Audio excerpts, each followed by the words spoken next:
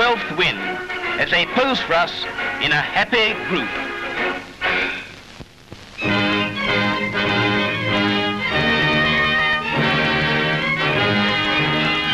3,000 Lancastrians gather at Preston to do honour to the Earl of Derby on his 70th birthday.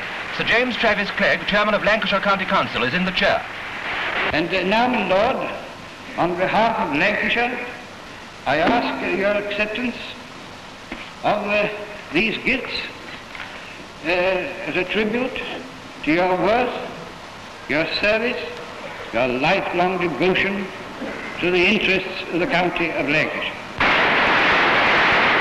Lord Derby replies.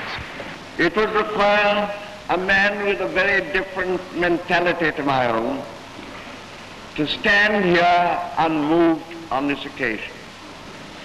Moved, first of all, by the reason that has brought you all here together, and moved by the very kind references, the more than kind references that have been made to me and to Lady Derby.